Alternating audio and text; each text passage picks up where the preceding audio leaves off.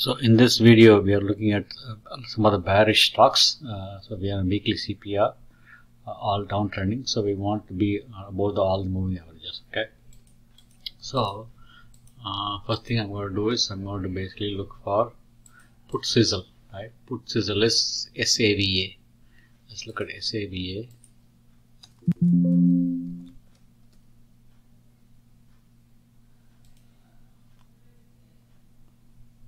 We can see the CPR trending down. Okay, see this RSI down, everything down, all the time frames are down. Okay, so this is a good, good for bearish stocks. Next one is NOC.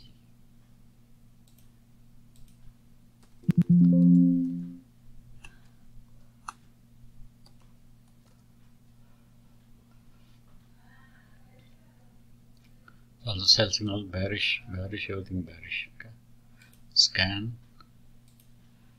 BIIB put call ratio.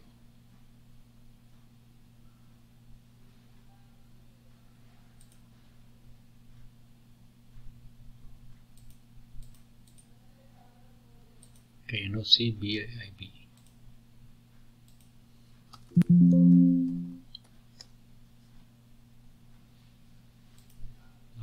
bearish, everything bearish. Okay. Now we can also trade on XLV, which is a healthcare ETF. Okay. You can see that that ETF is also completely down. Okay. Since trading individual stocks, you can basically trade the ETF itself. Okay. There's a lot of healthcare sector job. GameStop, okay. RTX, Ford, Disney. Ford.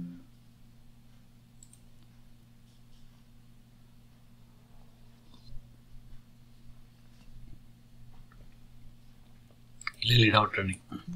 TS Disney.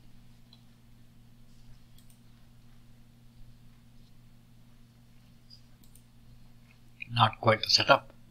Uh, next one is Kimberly and GNPR.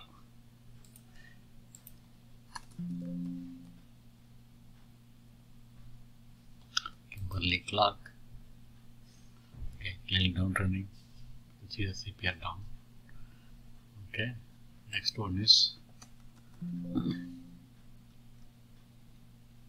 JNPR Juniper Networks.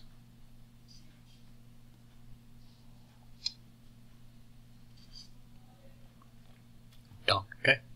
Thanks for watching the video. Please share, subscribe, and comment. If you have any questions, please let me know. Thank you.